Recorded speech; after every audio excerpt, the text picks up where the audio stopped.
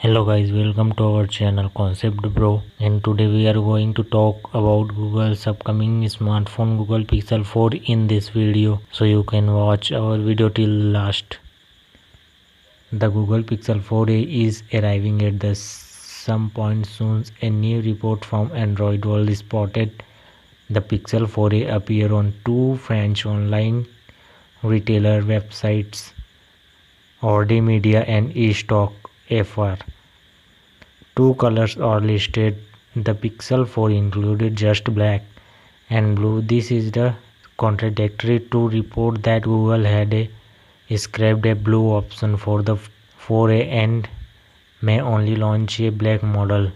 The black version has a model number GA02099FR and the blue one is a GA02101FR and additional the models are listed having a 128 GB of onboard storage and showing and estimated delivered within 8 to 12 business days from stock FR and Ordi Media show a ETA of July 7.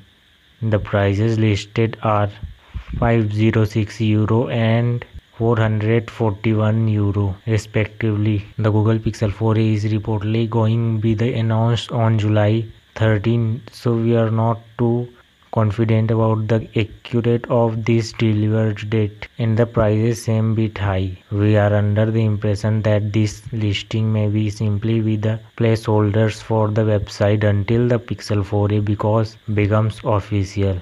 Based on recent report the Google Pixel 4 will announced on the July 13 and the we don't be released until October 22. The Pixel 4a will be powered by the Snapdragon 730 CPU and support a 5.81 inches OLED screen with full HD plus resolution and a punch hole 8 megapixel selfie camera. There's 12.2 megapixel main camera which we anticipated will take a which we anticipated will take a seller photos then the, thanks to Google software. There are also a 3080 mAh battery and a 3.5 mm headphone jack.